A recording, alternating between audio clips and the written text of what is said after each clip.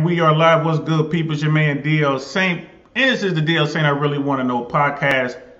Back with you as promised.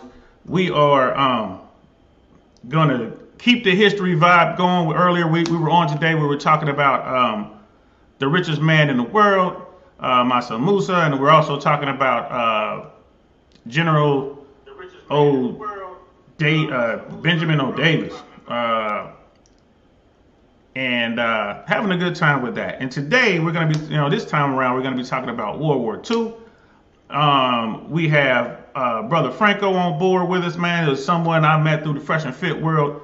Um, and, and before we get started, man, that's one of the things that people don't understand about what's going on with YouTube and these different content creators and the platforms that they build, and and these um, you know, these these uh network opportunities that that people are making. And it's not just like fresh and fit, but Rollo Tomassi, uh, you know, the Joker out there with Better Bachelors, uh, Rich Cooper, you know, even on the blue pill side, you got people who are doing this thing. You know, they're setting up locals, they're doing all this stuff, bringing people together and letting folks share ideas and actually grow and build things together. And that's what's going on here. So I just wanted to bring that out. Shout out to those people who be doing those good things. I had to give them a hand for that. You know what I mean? Um, and that's what we that's what we're here to do, man. We're gonna be talking about the Second World War. All right. For those of you who don't know, because school doesn't teach you shit. You know what I mean? Let me give you the cliff notes, right? The Second World War was fought uh, September 39 to September 45. That's 1939 to 1945. Um, and it was a world war, right? So it involved Europe, you know what I mean? The Pacific, Atlantic, Indian Ocean, South Indian, uh, Southeast Asia, China, Japan, Middle East, Mediterranean, North Africa, Horn of Africa, Central Africa, Australia, North and uh, South America were all involved. And then, you know, here's some just bullet points. You know what I mean? It was basically Nazi Germany, uh, Imperial Japan, Fascist Italy versus the world. Um, just to just to put it to you bluntly, versus the world. And they lost, the world won. Um, how do we know that they lost? Because we're not speaking Japanese, German, or Italian, right? And uh, the fact that I'm alive lets you know that we won, right? Because uh, what Nazis was doing was absolutely horrific. So with all that said, let's bring on our guest today, brother Franco. What's up, man? Hey, what's going on, Uncle DL? What are you saying? I'm all right, man. Let me give you, let me give you a hand that you deserve, man. We got Brother Mike is in the house. What's good? What's good? We see Fresh and Fit coming through. Thanks for the support, brother Michael. Um, so yeah, man. Um, you and I, you know, we kind of met through that world, the uh, the Fresh and Fit world, um, yes, in their Patreon. And and uh, so before we get started, before you tell the world who you are, um, tell me briefly, man, what brought you to the Manosphere in the first place, man? How did I mean, how did how did you wind up in a, in a position where we could meet? And I'm not looking for your I'm not looking for your red pill moment. I'm just wondering, like in know, general, what brought you? Uh, well, not like I guess I have to bring my red pill moment. I, there's the only way to tell this story. All right, well, ahead. I tell you what. I tell you what. Start with your red pill moment, and then roll into who you are and what you're doing with this pot with your platform. So there you go. We'll make it easy. All right, I'll try to make it short as possible. Well, I'm a uh, cancer survivor of state I've survived uh, stage four uh, squamous cell carcinoma. As you can see, this beauty of a scar over here. well, I'm not going to go into the further details of my situation, though. But now, long story short, I was divorced a couple years ago. Really didn't know about female nature at the time. Like, really, really 300% blue pilled, especially when it comes towards female nature and intergender dynamics. And that's why I started the uh, self help move self help help movement to what's that? No, no, excuse me, not self self help uh, phase, and which kind of led me to uh, Fresh and Fit. Uh, December 2020, that's when uh, Myron blew up on TikTok, uh, punishing bad behavior, following by um, why men and girl, men and women can't be platonic friends. All right, fast forward to I guess six months ago. Or I guess a year ago, maybe six months. Oh, okay, we'll say six months. Uh, DL kind of popped into the Telegram chat. Uh, we kind of, you know, shoot the shit for a little bit, and next thing you know, we we uh, started talking about military stuff, and come to find out that hey, you're a vet and I'm a vet. well, I was I served in the uh, Canadian Forces uh, primary reserves. Uh, did it for five years, and DL kind of told me his military history, and we just we, we clicked. That's what's up, man. So this is for you, man, for everything you've done. Surviving cancer is no easy task, bro. Surviving a, uh, a breakup, a divorce is probably even harder in my book, yeah. man. You came out on top. You're still pushing forward. Shout out to you. I didn't know that. You see, this is why these platforms are so great, man. This is and this is this is the. Huh? No, we never we never touched on that, bro. No. And uh, this is the essence of why I wanted to do this this platform. You know what I mean? Hence the title, DL Saint. I really want to know. You know really what I mean? And know. I really want to know. So, and dealing with, I mean, dealing with that, bro. And uh, you know, shout out to you, uh, brother. Jason's in the house. What's good, brother? Bro's oh, good. You know, you got fire in there for us, and brother Mike is in there. Like, yeah, you know what I mean? Fire. Yes, yes, and uh, you know, brother Mike's always big time, big time supporter of Fresh and Fit. Um, I've seen him just going through the archives. He's been in there. It seems like day one with uh with Myron and Fresh and what they got going on over there. So so uh, you know, shout out to you, brother. And uh, brother Jason is into um, credit repair and then and, right. just basic credit uh, knowledge. We did an episode a few days back. We're gonna do a follow up episode because we ran out of time pretty much, and uh, really delve into it. The brother knows what he's talking about um, on that credit finesse game, and all we got to do is look at someone like Fresh. he's using his credit and he's doing everything to um, to level himself up. And with him, it's with the with the cars, with the jewelry, with the lifestyle. Um, he put in the work and he's using that to build his brand, to build his business. And shout out to him, man, it's absolutely working for him. That dude is always working. Well, speaking always. of uh, Myron Fresh, uh, they actually inspired me to do this to do this podcast on my own. No kidding.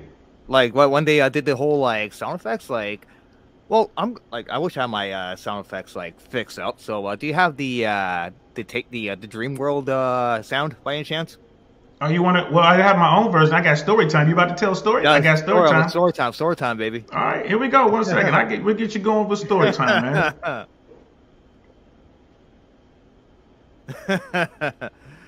All right. Well, uh, what was uh, we are watching like like Fresh and Fit? How like Mario likes to do his uh, soundboards and I always wanted to do like a podcast, like something similar to that. And I was like one day like scrolling through my phone, which I should be doing other better, like doing better stuff, like I don't know, do something productive though. But I guess it, it kind of kind of a good thing to happen because I scrolled through this video on Instagram. Like you know how like um you can transfer TikTok videos on Instagram. Yeah.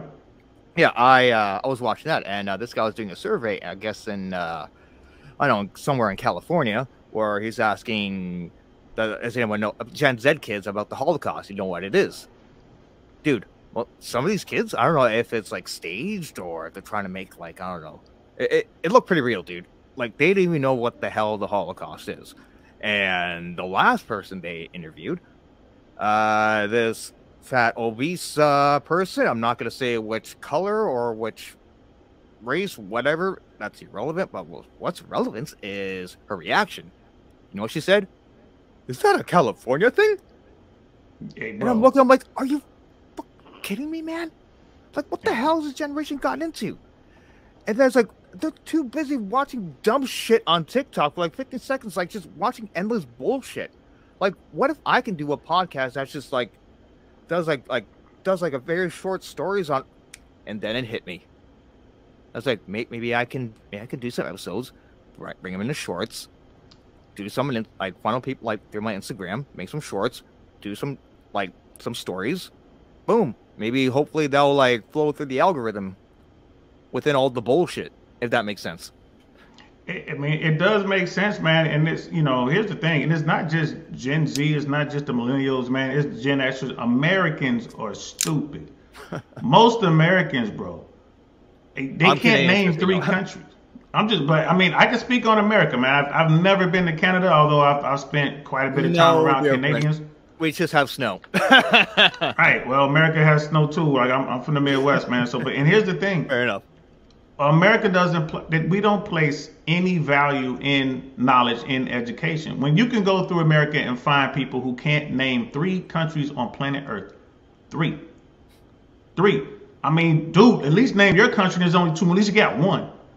right? and they struggle to name three countries, bro. That that was not staged, man. Like, it, but if you ask them what the Kardashians are up to, you know what I mean. If you ask them about the Real House, Housewives, up, Oh, absolutely, absolutely, man. So I mean, and it's just one of those things, man. So salute to you, bro. I hope it works out. You know what I mean. I hope people will come and and want to learn, or at least they have an act. You're putting it out there. The content's there. So I would say if they get a test on World War II, they can come and watch or test on something. But here's the thing: they don't teach this stuff in school anymore, bro. You know, I have a teenage daughter, man. They, they're not learning anything in school. That's they're not What learning. are they learning exactly? Uh, they're learning about pronouns. Uh, they're learning how to be gender fluid. They're learning how to paint their hair purple and pink and green, right? You know, uh, it's, it's funny that you said that because I'm sorry, let's stop you there for a second. I, I, I was doing this uh, job last week in elementary school, doing the elementary school renovations. Uh, in case you guys want to know what I do full time, I am a mechanical insulator. I work in the trades, and so I there's some like some bulletin boards still there for the kids, and I, I ran this one bulletin board where they have like three different types of transgenderism, three different flags, and I'm like, what the hell? It's like there's regular transgenderism, there's I don't know, like native transgenderism and bi I, I don't know, dude. Like I, I can't keep up, man. It's like Right. what the hell are they teaching these kids? Like whatever happened to like you know, like we're all human race. There's one race, human race, like bunch of like kids from different colors holding hands. What whatever happened to that shit, man? Man, damned if I know, bro. I spent three or four days trying to uh, explain to my daughter that she's a female of the species because she didn't want to acknowledge the fact that she was a girl. She didn't want to acknowledge the fact that they were boys. She was like, I don't know, maybe I could just be a piece of cheese. It's like, no, you can't. And that was a very, dude, it was a real serious conversation I had to have with my child because, and I asked her, like, where, well, you know, where did you learn this? Again, I wasn't being accusatory. I wasn't screaming at her. I'm just, we're just having a conversation. I'm like, oh, so, you know, where did you learn this? I mean, you didn't learn this here. Did your mom tell you? No, my mom didn't tell you. What, what was the people at school?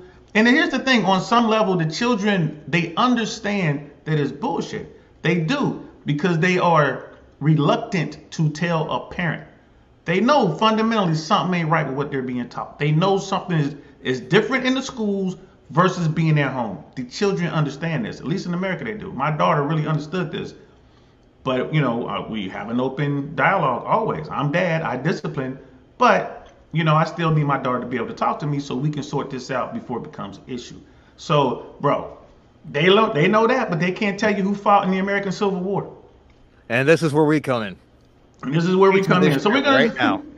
So we're gonna talk about uh, World War II. For, for those who are in the chat, yo, we we dropped uh, we dropped the Foxtrot Sierra podcast link in the chat. Please go over there, check it out, give him a subscribe. Like he's brand new, getting going. Uh, show some support, show some love, check out what he's doing, give him some feedback so he can get better. It's in the chat, so do us a favor and do that. So Appreciate it. Hey, yeah, absolutely, bro, absolutely. So let's talk about World War II, man. Where did you want to begin? All right. Well, let's kind of begin. Uh, hmm. Well, since we're kind of covering the whole thing, it's a good thing I got my uh, notes here from all, Yeah. all my previous episodes. Uh, And, and, and- and let me and let me clear it up because we're going to talk about why it was so easy uh, in the early stages for Germany with respect to France. Uh, uh, like the thumbnail said, um, you know, we we we're already 15 minutes in, so for us to cover all of it in 45 minutes would be, uh, yeah, um, we, boy, you know what I mean? Just okay, you know what I mean? Yeah. Okay. Well. Okay. Germany invades Poland in 1939, right after they expanded. They annexed Austria. They annexed uh, Czechoslovakia. If you want to like go to explicit details, uh, watch my episode, uh, the Nazi aggression. It'll give you explicit details on it, followed by uh, Rise of the Third Reich. Now, when they were doing this, France and Great Britain just kind of stood by, right? Yeah, pretty much. Um, what happened was like uh, when when Germany invaded Poland, like they, they were so afraid of starting a world war, they really, really did not want to antagonize the Germans enough as is, and they're it, it- it's like an inevitability. It's going to happen one way or another, right? And so like there was this uh, phase in, during the war called the Phony War, which is like they pretty much like went on the uh, defensive. Actually, hold on, we will. uh I got it. See, we got this uh, notes here from. Uh, okay, on the 9th of, 9th of September, 1939, actually, the French did make a, a bit of an, an offensive into Germany while they invaded Poland. Did you know that? No, that did I did not know that part. Now explain. Okay, well they uh, they attacked the uh, the Saar region, uh, which is like this uh, area in Germany where they had to give up uh, during the uh, in accordance with the Treaty of Versailles after the First World War, and so that's when French decided to invade that territory. Though, though, but they marched into five miles, five miles into Germany, into the Saar region, and guess what happens, DL? They were ordered to not only stop, but to withdraw back to the Maginot Line. So they began to uh, uphold the Treaty of Versailles, as they should have. They were bound by treaty. Mm-hmm. Germany was doing their thing. France was like, okay, and they were stopped and told to return. That well, actually, oh, actually, well, let me, let me re-explain that stuff. Uh, during the Treaty of Versailles, they, Germany had to uh, give up the Rhineland along uh, two, two, two regions that's mineral rich. Uh, the Ruhr, the Ruhr region, R-U-H-R, and the Saar region. When the Nazis took back, uh, when they start building their armies, when they were trying to challenge the Treaty of Versailles, when Hitler took power, uh, he took back the Rhineland along with the Ruhr region and the Saar region, and that's when France and Britain kind of stood by it, didn't do anything, thinking, okay, we kind of kicked their asses in the treaty a little bit. We are kind of unfair. Let them have the territory back, and this thing will blow over. Though, but they kept pushing, as you can see on history. It was all about appeasement, and this is when like American politicians to this day love to use that word appeasement, appease, appease, appease, but they mm-hmm. really don't know uh, what part of history we're talking about here. And that had everything to do with Neville Chamberlain and his relationship yep. with Adolf Hitler and his unwillingness to stand up against the Nazi aggression in the beginning. Mm-hmm. Absolutely correct. Okay, and, and then, so who was who was his who was the French counterpart? Like, who was the French prime minister at the time, or did they even play a role in this to this point? I uh, know they they did. Uh, okay. Um, again, same thing. Uh, I got his name right here. So my notes are kind of everywhere. For Christ. Uh. Because a lot of people, when we get to this part, when it, this part of history, they're like, "Oh, during the war, it was Charles de Gaulle." Like, no, de Gaulle was a general. No, no, de Gaulle did his part. De Gaulle. Okay, Paul Renard. That's his That's name. It. Okay, Prime Minister Paul Renard. Like, him and Chamberlain, they, they're kind of like, you know, they kind of want to play on the uh, defensive because, again, they really don't want to antagonize the Germans. And so, also the reason why, because they heavily relied on the Maginot Line, which I can kind of pull up here. Uh, just give me a moment here while I get everything set up. All right, here we go. And a lot of people don't realize realize this about World War II and these generals. Most of the generals were aristocrats. They had the highest education money could buy but all these guys were so arrogant. These politicians were arrogant. You had a few exceptions. One of those exceptions was Winston Churchill. Right? He was an aristocrat and he was all that, but what he was not was uh, mm. afraid to face Herr Hitler. right? So, and we'll get, I mean, we'll get into that probably towards the end of this broadcast. But Neville Chamberlain, who simply didn't want to send and commit young British men, young men from the empire, to go and die in a senseless war, having been around for World War One. He simply did not want to commit, and this is what allowed Hitler to do what he was doing. Um, and it's like, dude, this is what we talk about with bullies. Hitler was pushing the boundaries, man. When someone does steps up and they want to quote unquote bully you, you don't deal with that by going to talk to other people and saying, hey, let's go over and use our words. No, you punch them in their mouth immediately. and they going to sit back and be like, all right, let me go bully somebody else because that guy right there is going to fight. So yep. here we go. What, what did you just load up? All right, uh, this is the uh, the outlayer of the Maginot Line. Uh, right here, this is I'm going to cover this on uh, next Tuesday's episode, uh, Fall of France. That will be my my episode 15, though. But here's a little teaser uh, the Maginot Line, if you guys would read it by now. Uh, I'm just gonna give like a quick rundown on it. Uh, these were from like built lessons from the First World War. This is like the state of the art military engineering out there during its time. The original idea is they really want to uh, do it from the Belgian coast of Ypres all the way down to the Italian coast. So, but there was some political controversy because not only the Belgians are intimidated, but so are the Swiss. And the Swiss are like, dude, really? You kidding me? And the French are like, yeah, okay, maybe we should like just throw it along the Franco-German border. And yeah, so they heavily rely on that, plus the Ardennes forest, which they believe that it is too thick to drive tanks through. Yeah, impenetrable. You know what I mean? I I fought in the war when they were saying stuff like that. Well, you know, there's a natural barrier. There's this big desert. There's no way that you can get a, a army full of tanks through that desert. Uh, and this was uh, Saddam Hussein's Republican Guard and Saddam Hussein's army. Like, so we don't have to worry about that desert. And guess what we did as the Americans? We drove our tanks right through that desert and we lit their ass up. America. America, fuck yeah! America. So we got uh we got a uh, wonderful 34 in the house. What's good, brother? Welcome. Thanks for coming through. Appreciate the support. What up? We're here with the Foxtrot Sierra podcast, man. We're getting in, we're getting into the weeds with some World War II. And and uh, so all right, so the Maginot Line. Like I've heard of Maginot Line. I understand um, how that um, that fortification was supposed to deter any sort of attack. Um. But I also know I also know how uh, effective it was. So so continue then. So we see what the Maginot Line was all about. Um, and so France wasn't really concerned about Germany pushing into their country because of this. Be and uh, you know, I, I, think the at the time France had more armor than Germany did. Yes, they did. They outnumbered them. Uh, they had a much. Uh, oh, stop sharing this. Uh, they had a much better equipped, much better trained army than uh, Germany, and yeah, uh, of course, with this Maginot line that I showed you, uh, it's supposed to uh, hold the offensive for, uh, sorry, hold hold defensive for only 20 days until they can actually get the bulk of the French army to go on the offensive. That's the whole general idea of having this Maginot line. Wow, and and that was the plan. Like, okay, this is a great plan. It's one of those things. Looks good on paper. Yep. This is this is great. And then keep in mind, you got these generals. We're brilliant. No one can tell us anything so we don't have to worry about Germany. So you got the French who are supremely confident, maybe overconfident, mm-hmm. and you have Great Britain who's and the prime minister who simply doesn't want to commit to a war. Yeah, so they were so, slowly they were slowly uh like like disembarking like from France. Oh, uh before uh the during the Phony War happened, let's not forget the uh, Norwegian and Danish campaign.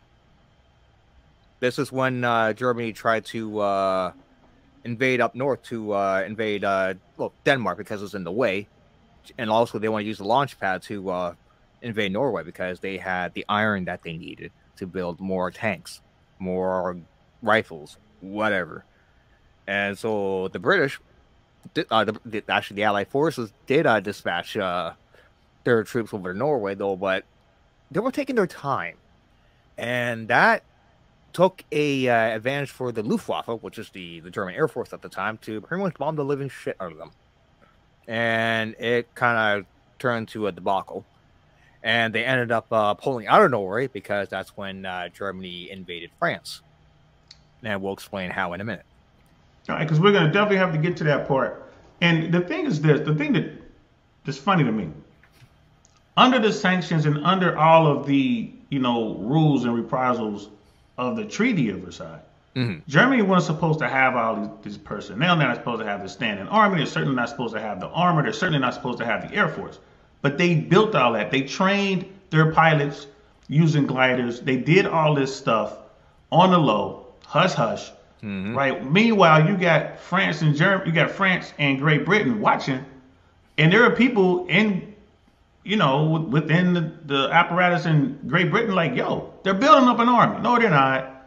no, they're not. Don't say that. uh, according to uh, Nicholas uh, Zetterling in his book uh, Blitzkrieg, uh, what uh, the first uh, Panzer tanks, the Panzer One and Panzer Two, uh, they actually uh, they actually made a deal with the Soviets during the time to uh, test their tanks in, but in disguise as quote unquote agricultural tractors.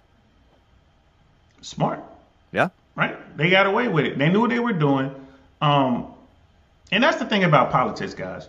There are people out there like they just want to plug their ears, close their eyes, and scream no, no, no, no, no, because they just don't want to deal with the truth. Right? These are the people who will fight to stay ignorant. Blue pill.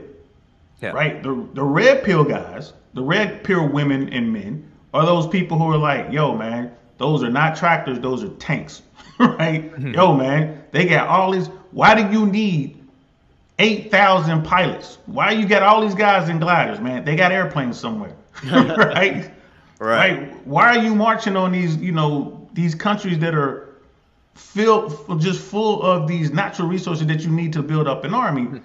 And the red pill people are screaming. The thing about being unplugged is eventually those people who are trying to deny it, they come to the fact that you know what, uh, you know, there's some truth there, right? So, and then brother Mike was saying communism looks great on paper. Yeah, I was reading that. Yeah, that's true. Sure does. Looks great on paper. How did that work out for the people behind the Iron Curtain? So, all right, so let's get into it, man, because we're coming up on uh, almost a halfway mark, man. Let's let's actually get into the invasion of France. And I'm sure it's going to have a lot to do with the Maginot Line. It's going to have a lot to do with a whole mm-hmm. bunch of other stuff.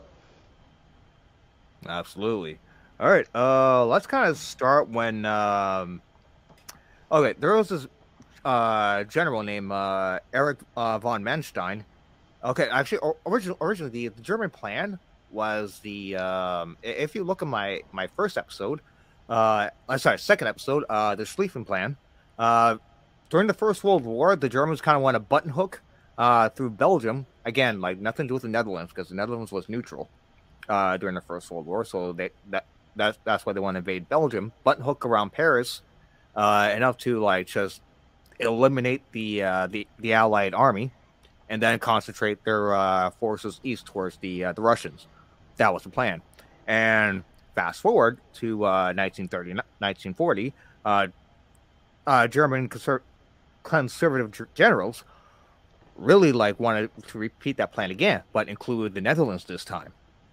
And though uh, this is this plan was designed to fail because these these German generals don't want another war with France because, dude, they, they tried for freaking years trying to defend France with a much bigger, much tra- better trained army, and they lost. Yes. So they're, they're like, well, we can't have this freaking war. So, but there we there we go. Uh, this guy named uh, Erich von Manstein, uh, sorry, Field Marshal Erich von Manstein. He kind of devised a plan to uh, use speed and aggression through the Ardennes. And Which so, was a crazy plan. All the generals thought like he must be out of his yeah, mind. Yeah, like shut him the fuck up. And there and was only there was one person who was interested in this plan. I wonder who it was. Yep, the Führer himself. And then he took another opportunity behind the conservative general's back and Hitler was persuaded. He's like, yeah, fuck yeah, let's do it. And so, guess who uh, spearheaded the uh, the Blitzkrieg? Well, let, us uh, hang on. Which and a lot of people like when you, know, you got to understand, like whenever there's a war, generals are always fighting the previous war. Mm-hmm. They never take a war on and say, "Well, this is different. We need to come up with a new way of doing yeah, things." Yep, there you go. There you go. There you go. There you go. And anyway, so uh, spearheading this uh, Blitzkrieg was, I got this notes over here. Uh, what is Blitzkrieg? Uh, lightning war is what it means. Uh, it emphasizes speed through motorization of forces, concentration of attacks, and up to the minute communications between units. And so, in order to spearhead this, is this uh, guy named uh, uh, no, I always say uh, Hans Guderian. That that was the man who kind of spearheaded th- to the uh, the Ardennes, and we'll explain that in a minute. But first, they they decided to uh, initiate the uh, Schlieffen-like plan and invaded Holland, uh, correction, the Netherlands and Belgium.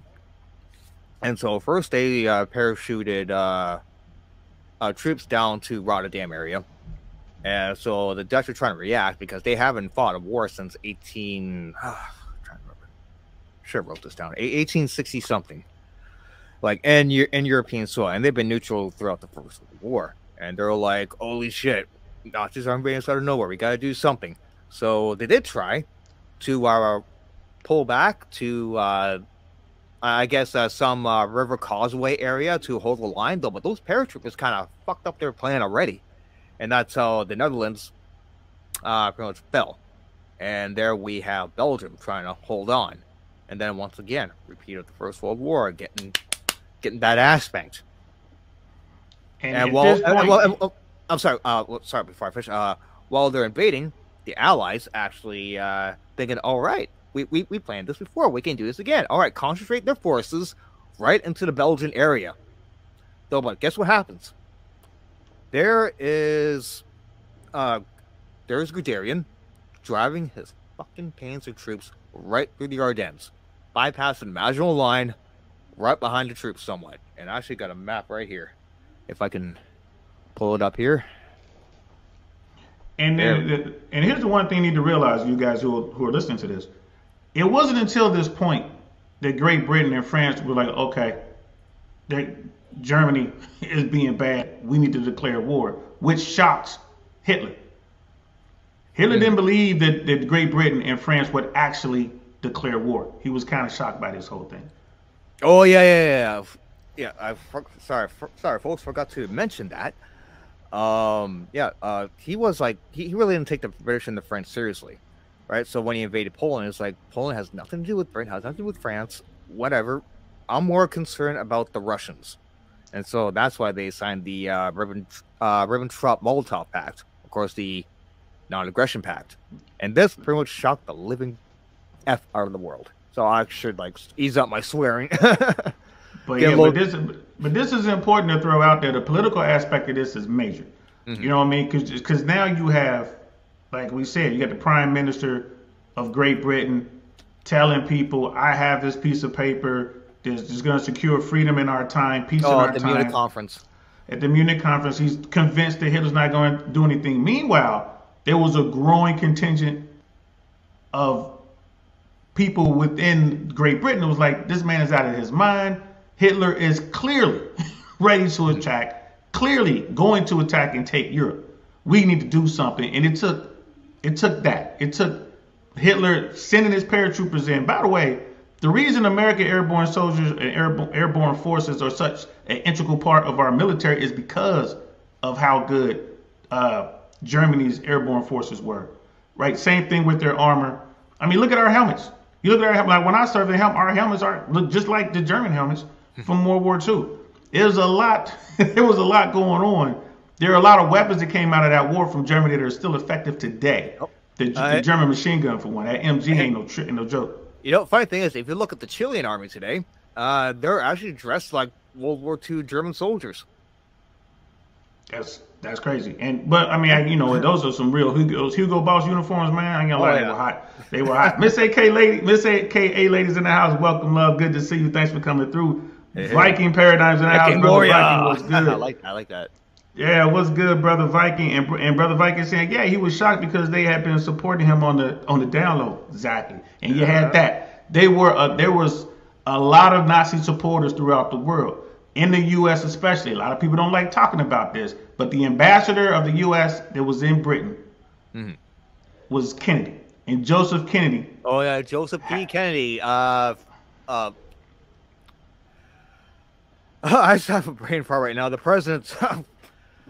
yeah, that's uh, the JFK, father. JFK, JFK's uh, father. There we go. There we go. Sorry. Yep. He, he was yeah, no problem, and he people don't like bringing this up because their family name is so synonymous with America. He was lightweight a Nazi supporter, right? And it, and it was because of, but they had to get rid of him. They had to bring him back to the U.S. because the, all the way up until this point, he was trying to sabotage um, the efforts to stand up against Germany. So a lot of people don't realize this, man. Politics and the the elites and all this. This war was a war that the one percent would fight, and I think it's the last time that the one percent has fought a war. You know, ever since then, it's been us peons. The brokies have been fighting. But this is this is a time when the one percent was sending their children to go to go fight. And uh, and Kennedy, his sons went off and fought. They fought the Germans. He lost a son uh, in a, an experimental accident uh, in Germany. As a matter of fact, his oldest son was killed in an accident flying a uh, a modified B-17. Um, was there early attempts at radio controlled flight. He couldn't make it out the aircraft. He died. You know what I mean? And then we all know the, we know the story of Robert Kennedy in the Pacific, you know, PT 109. Um, and then, you know, we know what happened to his youngest brother, uh, who, was, who was also, who was, gave his life for his country just trying to be president. So, um, but yeah, I just wanted to throw that in real quick. Uh, yes, sir. Yes, sir. All right. Uh, damn. Oh, uh, get this. Okay, the invasion of the uh, neutral countries. Um, not only um, the Netherlands and Belgium was invaded, but Iceland was also invaded by Britain. Oh, didn't see that, did you? Nah, people want excuses to do stuff, man. Whenever there's an opportunity to make a move, that's when you do it. There, there was a strategic reason behind that because, like, well, because they the Allies trying to like you know convince uh, the Icelandic government, you know, side with us, side with us, and the Icelandic was like, no, we don't we don't want anything to do with this. And though, uh, but Britain send their Royal Marines anyway, saying, you know what, screw you, we're just going to come in there anyway. You guys will have military, whatever. And so on May 10th, they invaded right there, and they start establishing a destroyer and a scout base, uh, sorry, a scout plane base to help Atlantic shipping convoys uh, against uh, German U-boats. All right, this uh, map I have right in front of you, folks. Uh, this is pretty much the uh, the, the down low on how everything went down. All right, so you have Army Group B, Army Group A, and Army Group C. All right, so um, So when we're talking about Army Groups A, B, and C, Yeah. obviously we're talking about German Yes. forces. yes, All correct. right. And so the uh, the plan, the new plan is okay. Uh, we're gonna call the Allies bluff by uh, initiating this Schlieffenlight plan. Army Group B is going to uh, invade Belgium. Of course, they they swooped down through uh, southern Holland after they were defeated. But what they didn't know, uh, I say, well, correction. Well, uh, Army Group C is keeping the Maginot Line occupied. You know, kind of keep them busy. And here comes Army Group A, uh, kind of spearheading this thing. Um, uh, I said I said his name again. Uh, Guderian, and oh, uh, Erwin Rommel had a part of this invasion as well. And so Army Group A rushes through the Ardennes, and then this is where the Allies had like, you know, like their their, their most thinnest of defenses, like skeleton defense, and they just plowed right through the Ardennes. Uh, first border town was uh, Sedan. Uh, normally in the First World War, they took them years to take it. Uh, they kind of predict uh, the, the French army today kind of predict it was going to take them uh, weeks, but it took them days, dude. Like three days, three days, three nights. Sedan was taken. Yeah, You can do that when you're mobile and you're ready and you're motivated. And then, so this faint, so everyone's really worried about what Army Group C was going to do.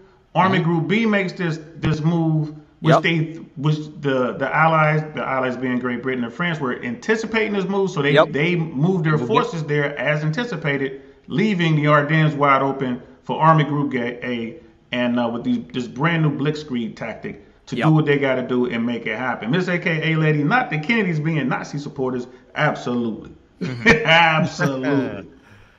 so um, so yeah um, and then with with that, you said within six days they were doing things that, took years to, do during the First World War. What was the next step? All right. Uh, so therefore, the next step is to split the forces, uh, the main French forces from the British French forces, in which they reluctantly succeeded. Uh, how they succeeded is um, when uh, Guderian uh, was ordered from was ordered to uh, stop his Panzer troop, uh, sorry, his Panzer divisions, in order for the infantry to like for them to keep up because they were like hogging their asses, uh, beating the crap out of the French. So wait for them to keep up. But Guderian can't break the momentum. It's like, no, we got to go. We got to go. We got to do this now. So he kind of said F you to the orders and just drove his panzer troops like all the way up to the sea. And that Wow. kind and and that alone really like disoriented the British and the French. They're like, "What the fuck's going on?" Uh, and they're trying to get themselves organized. And oh, after um, after uh, the Germans took Sedan, the French tried to make a counteroffensive, though, but they were met with uh, Stuka dive bombers, and they were just bombing the living crap out of them. They really didn't do much damage to the troops, though, but the the uh, the psychological part, like the whistling bombs, uh, the screaming engines, the explosions, like that would break any person's mind. And especially they, they fought a major war like a couple decades back and they remembered the atrocities, the nightmares of it. And they really didn't want and they're reliving that again, like make it stop, make it stop. Well, it was that, and it was also uh, the problem with with France and the French army during this this period in history, especially with facing Blitzkrieg, facing the Germans, was a lack of leadership. It was mm-hmm. an absolute lack of leadership. Yes. And I... your key. Oh. You said the German key to success was speed communication.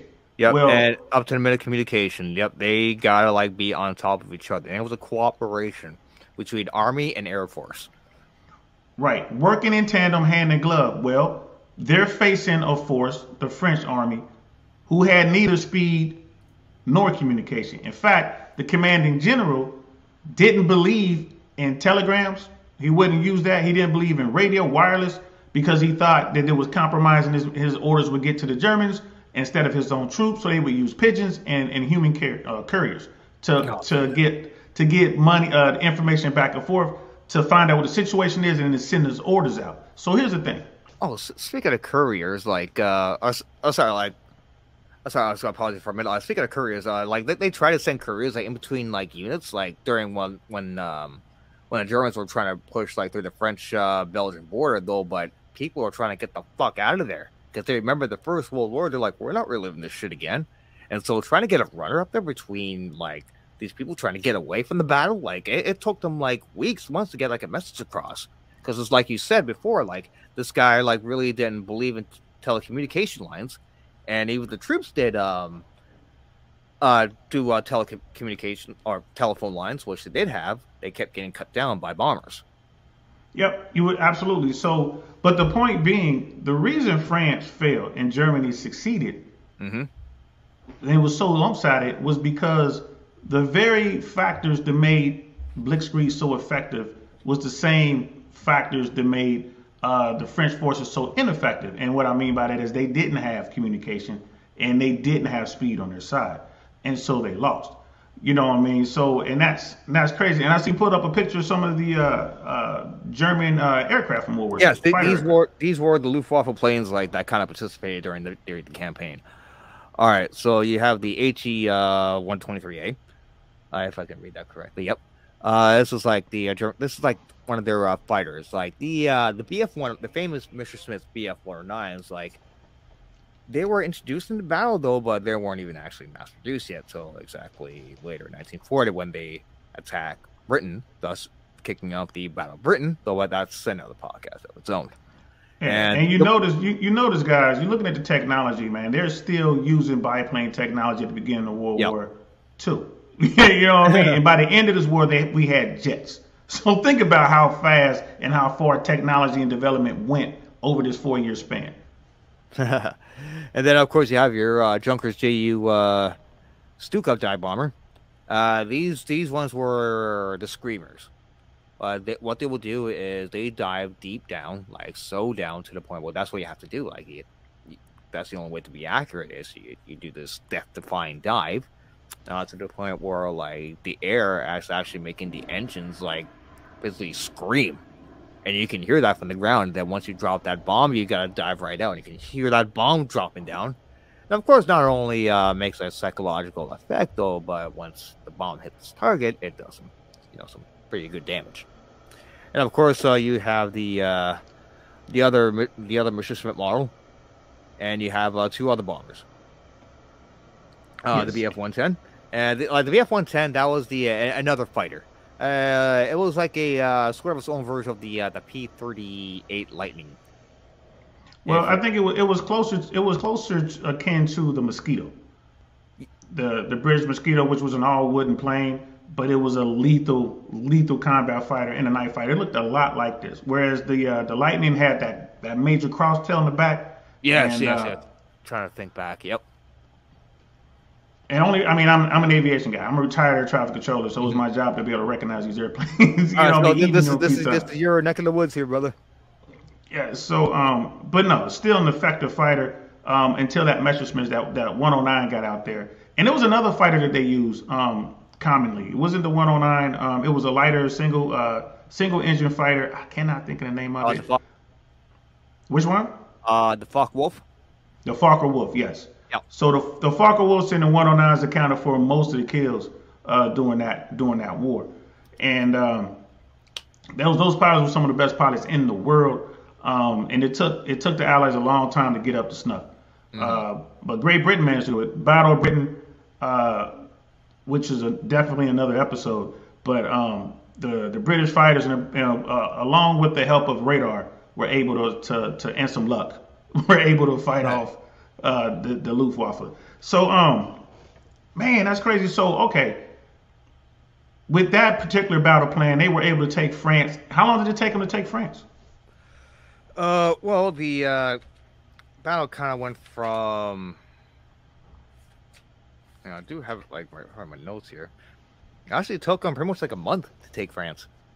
Um, pretty much like the entire month of May, they pretty much took them like it for whereas like First World War they tried four years and failed.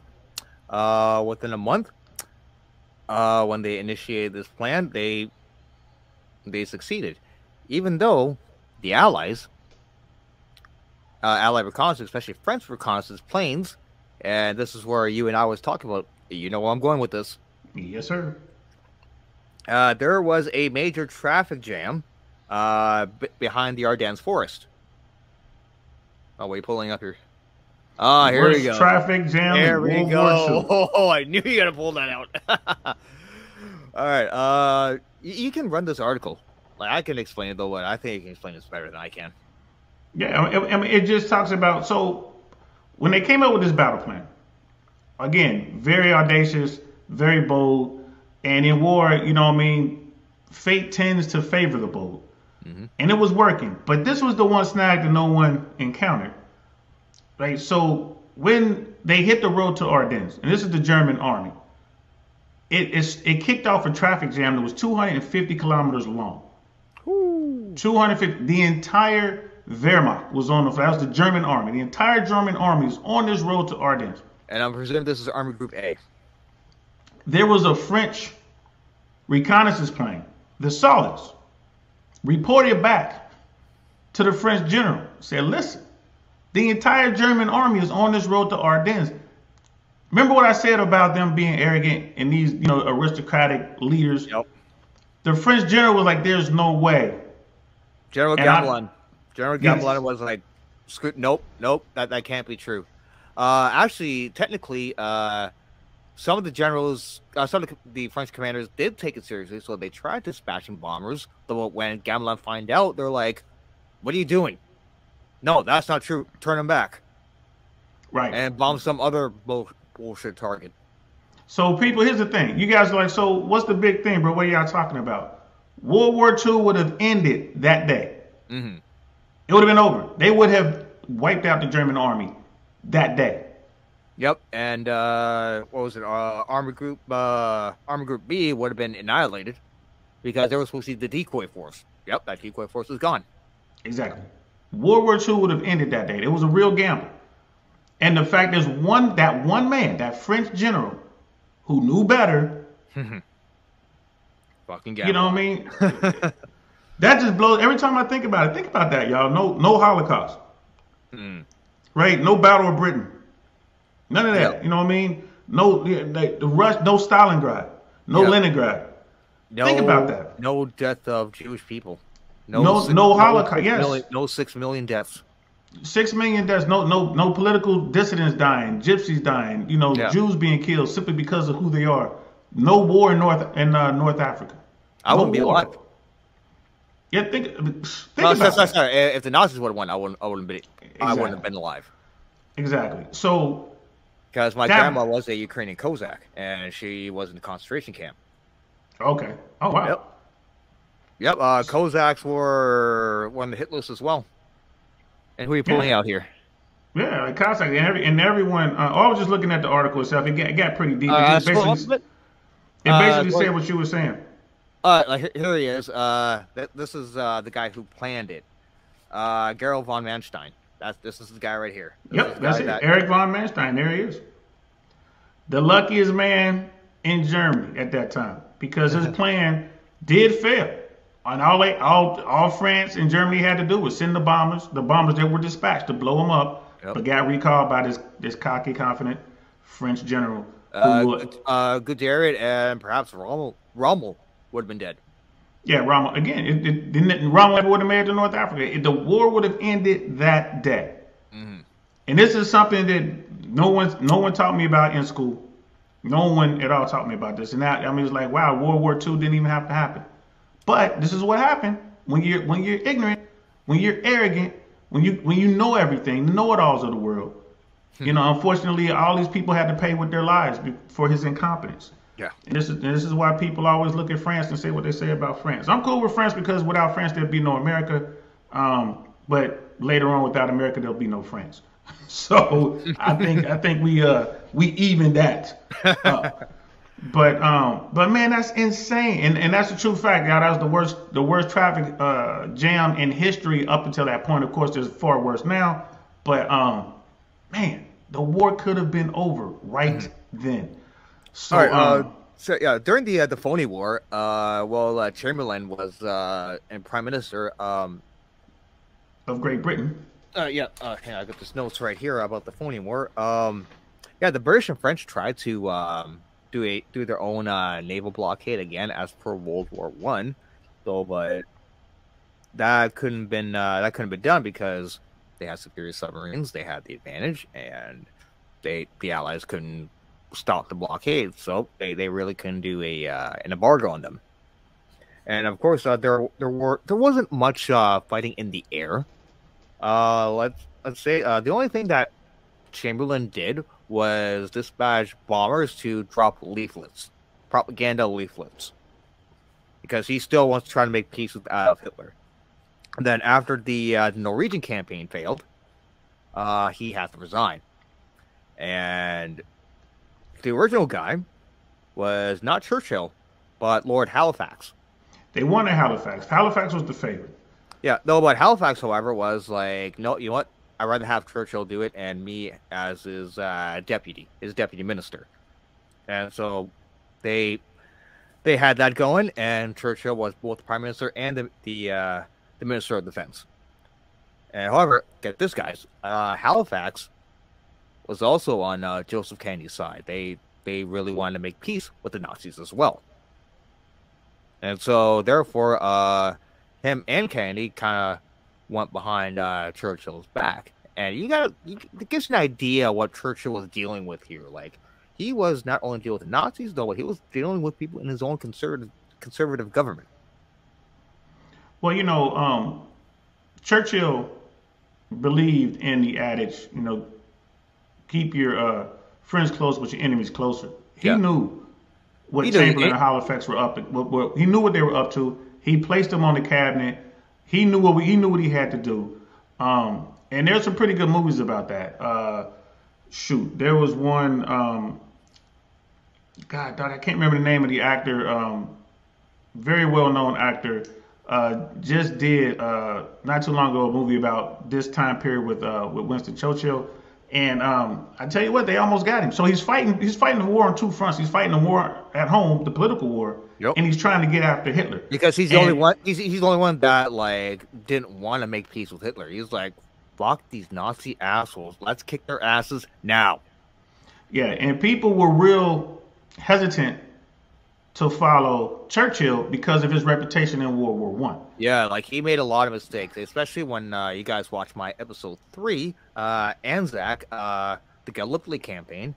Uh, Churchill tried to uh, send ships through the Dardanelles in order to make a in order to send supplies through their Tsarist imperialist Russian allies.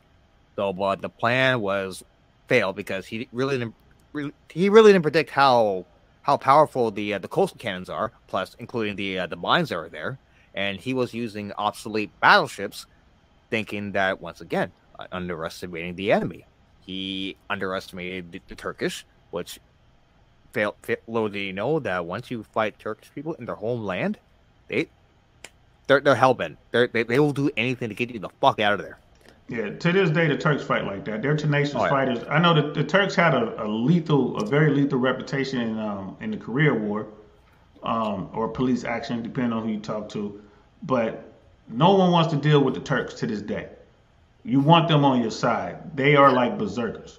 you know what I mean? That's why NATO kind of signed them on. They're like, Yeah, this these are the kind of berserkers that we want on our side. So we'll keep this one close. You know, break glass in case of emergency. I'm, I'm, telling you right now, I've gone on some mission with some Turks, bro. Them dudes are cyborgs. I'm here to tell you, they smoke, they chain smoke, they drink like fish. You and know what I mean? They're probably more in shape than your average 20 year old Westerner. I don't know how they do it, man. Like I said, I've been on missions with those guys. I don't know how they do it. I got a lot of respect for the Turks, and I have a lot of respect for uh, the, uh, ROK soldiers, uh, Korean ROK Marines. Um, you know, I mean, Republic of Korea uh, Marines. Some of the toughest humans I've ever come across. Um, so yeah, but I'll oh, go ahead. Oh, so I was gonna say, did you uh, do something at the DMZ?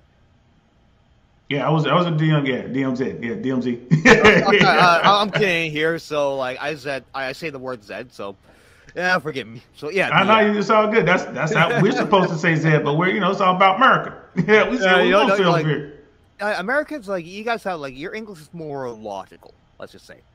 Is it? Yeah, because like uh, for example, uh, the word color, like I spell C O L O U R. You guys just spell. You guys don't use the U on. It's just color, straightforward. Right. That's just because we can't spell. That just kind of happens. same thing. With, same thing with tires. It is what it is. you know what I mean? But, but yeah, man. I got. I've, I've gotten a chance to do that. Like I've served with, you know, the the Scots Dragoons. I've been on missions with French Foreign Legionnaires. Uh, I've been on, you know, I've never I've never gone on a mission with a Canadian. Um, and Canadian, I never had that opportunity, but um, you know, a lot of other people. Um, yeah, and I've met some Russian soldiers after, you know, as a uh-huh. civilian. You know what I mean? Got to drink some vodka and get wild with some cats. Um, so yeah, bro, this this is this is really good. Brother Michael saying just had a humbling moment. DL, uh, he was saying uh, makes you very grateful to be alive. Absolutely. Um, we got to study history, people. We need to know where we came from if we have any idea uh, to know where we're going. Yes, sir, yes, sir. I, I, I, actually believe in that. So, so France failed, mm-hmm. and that brings us to just before they failed. That brings us to the evacuation at Dunkirk. Did you want to talk? Uh, we could end off with that. Uh, let's because Dunkirk. That's a whole podcast own. Though, before we go, you're probably wondering like, how the hell did the Germans did not sleep during this attack. Well, yeah. hang on. Oh yeah, you know where I'm going with this, right? Yes.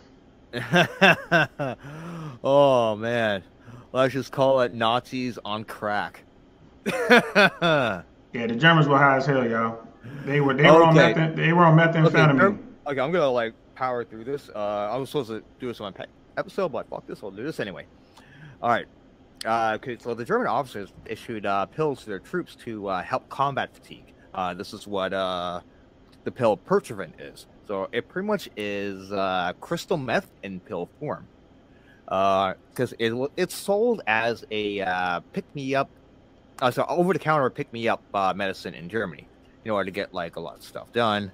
But little do they know, they're, they're popping crystal methamphetamine, methamphetamine in them and we we've all seen crackheads, right? They have this burst of energy out of nowhere. So that's what the uh, the Nazis were doing. Uh, they're issuing not only to the soldiers but to the pilots as well. So that's why you see the Luftwaffe just bombing day and night, bombing day and night. And so they they perform like pretty much Superman. And therefore, how like this, uh, being a Nazi fanatic plus drugs equals overwhelming force. And this operation would not have been possible if it weren't for this drug. And of course, they, they probably had some bad, bad withdrawal, like very bad withdrawal. Like there are reports of a Luftwaffe pilots like getting to accidents trying to land. I guess uh, the drugs are wearing off. They're, they're going through withdrawal. And yeah. yeah. Sorry, when you, cra- when you when you crash off your drugs, man, and you're flying an airplane, that gives crash a whole new meaning. Yeah, and you're right. They were 100% stemmed up. That was the only way they can get through all that. Mm-hmm. And um, it, it, was it makes sense because they were moving. As, as a guy who, who I've been out there, I've been in the field. It's it's as an infantry guy, you know, like for the infantry guys keep right. So in trying to keep up with, you know, as infantry, you're trying to keep up with armor. They're moving really quick. You got to hump all your gear. You're fighting. You're doing whatever. You know, you get those highs and lows of adrenaline. Yep. But it, it, but it just can't last forever. So you popping these pills. And yeah, that makes you a super soldier. I mean, that makes you you don't care about the bullets, you're Nope, out there just pushing like, forward. like your your empathy, your humility, and plus these guys are fanatics, so they didn't give a fuck what they're doing to them. They didn't give a fuck how how badly they've been blown up, how how much damage they do. They're like, hell yeah, I'm doing this for my country. Hell yeah, Sieg Heil, bang bang. Like, doing anything. Yeah, brother Michael saying Fed is going live. Yeah, go there. Definitely go support Ooh, Myron on yeah, Fed. I'm not sure Myron. what they're doing. Yeah, what he's doing today, but definitely go over there and support. We're wrapping up here. It was one last thing I wanted to bring up, Uh, Dunkirk. and uh, no, like we said, we'll talk about like you said, Dunkirk. That's another episode. Yeah. And for Oh, anyone we'll- who wants we'll- to talk we'll- about, we'll do, we'll do like a like a short version of it. Okay, so the Allies pretty much like uh, consolidated in the Sea of Dunkirk. Uh, they try to defend it, and it was pretty much like a miracle uh, combining of bad weather, uh, and a whole bunch of like materials as well. Uh, there was, there was far as like Hitler like holding off the attack as as per you know good gesture, hoping that uh you know like he's saying, hey Churchill, I'm sparing your men, make peace with me, and of course Churchill's like, fuck no, I'm not doing this. And so, long story short, uh, they evacuated pretty much the entire, well, the entire British Expeditionary Force and some French troops. Yeah, to the tune of I want to say 100, maybe 200 French troops. And here's the thing with that: the way they did it, they didn't have enough landing craft or small craft to help get the soldiers off the beach and to the to the warships to get them back home. There were no the Luftwaffe bombed out all of the piers. They couldn't. Mm-hmm. There was no way to do it. So they put out an order to all of the British people, and they needed any type of craft that was a certain footage that could get up to the beach. Yep. And the British people responded in such a way that's I've never seen since. They they answered the call, and the plan was we're gonna come take your boat, your yacht, whatever you got, and it's gonna be manned by sailors. But no, the owners of these ships was like, no, we're gonna take it over because Yeah, uh, they were I- so committed. Yeah, I, I forget his name though, but he was in the crew of the Titanic. That's all I know. So he brought his son and one of his crewmates, and they were like, "Hey, you gonna take my boat? I captain it, and I follow my own orders. Fuck off." It's not, but it was it was like that's how committed they were. I mean, you talk about patriotism, and they went and they rescued their soldiers off that French beach and brought them home. That right there was just a feat that will always be a, a, a source of pride if you're British. You no matter no matter what, and if you're French, you know what I mean. You're gonna be always indebted to those you know those Brits across the channel. But um, it it was just it was that was just amazing. And the one final thing we'll we'll end on one thing here. Uh, but brother Mike was saying before they were famous, uh, just did a video on uh, On Chico. Yeah, wow, okay. We are trending. Yes, we are. They- They're, they're making it happen, man. Um, there's a lot going on with the Manosphere. I'm telling you, man. It is mainstream media needs to report on what's going on in the Manosphere. They need to talk about the red pill world because that's where the views are. Everyone's talking about it. You know, shout out to Andrew Tate, the Tate brothers. Shout out to Fresh and Fit, Rollo Tomassi, um, uh, Rich Rich, Cooper, everyone else that's where people are looking. You know what I mean? So it, it of course mainstream media is going to come over here. I just saw an article in the Washington, uh, the New York Post about a guy talking about how uh, dating apps are terrible for men. Um, I'm seeing a lot of stuff in the mainstream media about hypergamy and feminism, how that's bad for women, and how women um, are too masculine, and there's nothing wrong with being feminine. I'm just starting to see it. I'm working on the show about that as we speak. Well, Good. not telling you as we speak because I'm in a show right now. But but the one thing I wanted to bring, I wanted to point out, Bill Burr, one of my my favorite comedians, Okay. in I his know- last yeah in his last special, talked about how the woke the woke mob wanted to cancel all these men, even dead men, John Wayne and Oh. Sean Connery, right? They going back to even Frank Sinatra. Like, come on. Frank Sinatra. They want to go back. They want to cancel these guys, but they don't want to cancel any females. Like you're not hearing about any females. Like really, you mean to tell me the women haven't done anything wrong? So, Bill Burr brought up Coco Chanel. Coco every, Chanel. every American woman and probably every woman in the first world country knows exactly what Coco Chanel, who Coco Chanel is, but more importantly, the brand Coco Chanel. It is a, it is synonymous with elegance. You know what I mean? With being regal, being elite. Her purses, her her perfume, her her anything with Coco Chanel Mhm. is the is the thing. And I told I told my people who who is very wealthy and well to do about Coco. They're like, look, we ain't canceling Coco Chanel. Leave. she had a Chanel bag on as we're having this conversation. But here's the thing about Coco Chanel. She built this company in the 1920s. The brand is still major today. Yep. But there's one thing about Coco Chanel. She was a Nazi sympathizer. Yep. When Not uh, only Oh, well, sorry, when uh, when the, when the Nazis uh, took France, and let's just say on 14th of June, uh, she immediately like went in bed. What not not went, but like stayed in the same uh, building where the top Nazi uh, officers were, and Yeah, started hotel. with them. She moved into the hotel where all the top Nazis were. Yeah, And then she started a and started relationship. up, started relationships, sleeping with them, like bro, Yeah. like like escorting them through balls and galleries, having the time of her life, while the rest of the Parisians are fucking starving. Eh, yes, and she was she was only out to basically better herself. She had a she had a uh, a, a relationship with She uh, said it was Winston survival. Churchill. Well, of course it was survival, and this is again what is what the red pill world is always preaching what, right? Women, when conquered, have to have the ability to Yep. embrace the conqueror. It's for their own protection, and more importantly, for the protection of their children if they have any. It's it's it's it's, it's their uh, survival mechanism. It is what it There's, is. and it is what it is. There's nothing wrong with it. And it's like Bill Burr said, I ain't mad at Coco Chanel, but yeah, You go know, we had to watch. though, but like, hey, if you're gonna cancel someone, cancel that Nazi sympathizing asshole, Chanel. She was banging a dude, and this is straight from. I'm just paraphrasing, but what Bill Burr said was like, Oh. yeah, you, you remember when you go you go to the Holocaust Museum, you see that big bin full of little kids' shoes, Yeah. right, right there, and she's he's like, yeah, Coco Chanel was was smashing the dude, banging the dude, licking on the dude that did that, right? Oh, but he And- said it in a more uh, vulgar way that when people go, Right. oh, and start laughing because it's so freaking true. Right, and he ends it with, so remind me, what did Sean Connery do? Oh,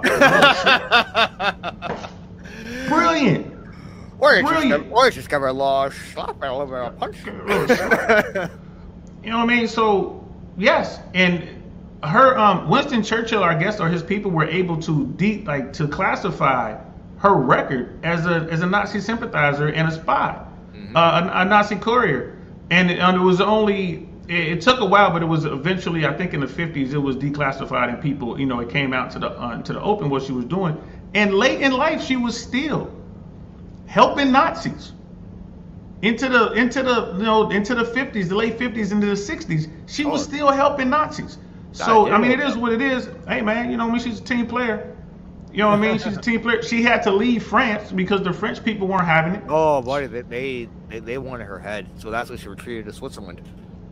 Yes, they wasn't having it. So, yeah, man, it, it just it just goes to show, right? It just goes to show. Wonderful 34 trader, absolutely. I mean, she was just you know, on, it, can't get Yep. mad at people for being themselves, man. And this is the thing: women will fight you tooth and nail on this.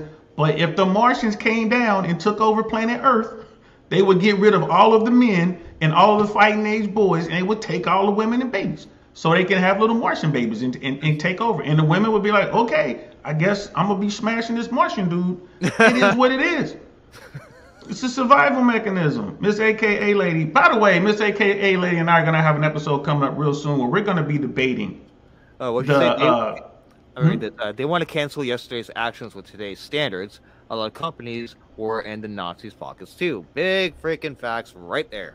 No, that's real facts. Politics is yeah. you know, war is just extreme politics. But Miss AKA Lady and I are gonna have a discussion um, about uh, student loan debt. Should it be forgiven by the government or not? The perks and the, the, the pros and cons of that. We're gonna work out that date. Hopefully within uh, maybe maybe by the end of this week. Hopefully by next week we'll see. But we're gonna have this debate. I cannot wait, Miss AK. She gave me a challenge and I have accepted because I'm not scared. accepted. Let's go. So it's going down, and I, I am so looking forward to that. I can't wait to have you on, Miss AKA Lady. It's gonna be fun. Um, I'm gonna hit you up, and then we're gonna work out the details. Uh, yeah, one for 34, brother Mike are both like, oh my God, I didn't know that. Miss AKA Lady, folks behind, uh, folks go blind when they see a designer level. Yeah, Yeah. they do. I mean, I ain't gonna lie, man. Hugo Boss, man, they made those uniforms for the Nazis, bro. the SS uniforms is hot, man. I ain't gonna lie to you. Look at look at all the, the uniforms from World War II. I'm telling you, Germany had the best. If it was if the war was based on fashion, Germany would have won hands down. Uh, I like this. I like what Miss AK lady says. I would go find me a high value Martian. Keeping it real, we 100 over here. get, get yourself an Andrew Tate Martian, if anyone. you over here smashing that, you know, what I mean, that green Martian, Martian pink, just making it happen. Like rock me out, baby. Rock me Amadeus. So, all right, yo, Foxtrot Sierra podcast, man. Frank, man, thanks for coming over here, man, and uh, and like enlightening us on World War II. Dude, thanks for having me. Like, we gotta do this again. Yeah, uh, definitely gonna work some stuff out. Of course, you can uh, find me on my YouTube. Just search uh, Foxtrot Sierra Podcast. Uh, you can follow me on Instagram at the Foxtrot Sierra Podcast and Reddit. Uh, pretty, much, pretty much the same thing as uh, Instagram that I do. It's uh, uh, Foxtrot Sierra Pod. Uh, type that, and yeah, just give me a follow. Uh, help me with the algorithm. Uh, help me get this information out there. So people like that individual, when next time when you say the Holocaust, she better have like a negative reaction towards Nazis instead of saying, "Is that a California thing?" Yeah, bro, she gonna say is that a California thing because you know people are stupid in this country, man. But that's like another thing. I did drop the link uh, above. Uh, if you guys want to go over and hit his link, man, go over to the uh, Foxtrot Sierra podcast, give it a sub, show some love. I mean, it's you know, it doesn't hurt to sub, man. Go over there and uh, and check out what he's what he's got going on.